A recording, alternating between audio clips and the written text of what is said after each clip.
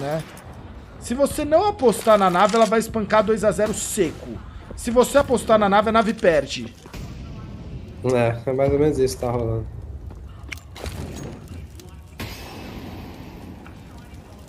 Sei lá, tô, tô, tô sentindo que haters querem me ver pobre e morto, velho. Acho que tem muita gente torcendo pra eu me fuder, velho. Cara, eu E aí tá tô- jogando energia no Cosmos e o Cosmos tá fazendo eu perder as apostas. Eu não Porque o G2 torcendo. fazer o que fez ontem é a maior brincadeira que eu já vi em, em 2022. Foi a maior palhaçada desse ano. Eu não tô torcendo, mas tá engraçado, tá. Eu acho que inconscientemente todo mundo pode estar até torcendo um pouco pra te ver irritado, velho.